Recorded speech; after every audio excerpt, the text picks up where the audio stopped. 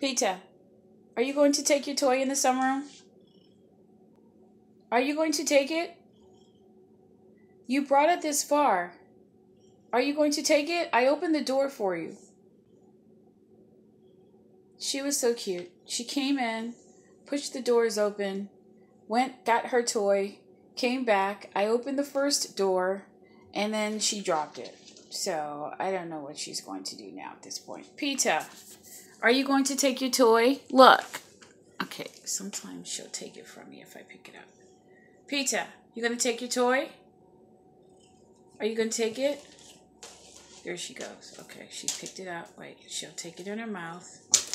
Okay, so she'll take it in her mouth, cup it, and then drag it off. There she goes.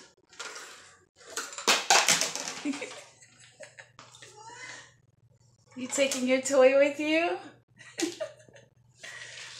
Okay. You took your toy? Well, it's on your back, but it was in her mouth. Okay, well, I'm not coming out because I'm making a snack. Okay, you got your toy. You're in the sunroom. Hang out with the squirrels and the birds. All right.